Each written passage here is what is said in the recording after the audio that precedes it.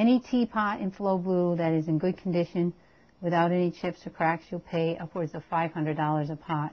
So that's something to keep in mind if you're going to buy something like this to restore. So you can pay anywhere from two to $600 for a pot, depending on the amount of flow blue that you see, the condition that you see, and the pattern. So those are all things to consider when you're buying um, these kinds of pots. The same thing with the sugar bowls and the creamers.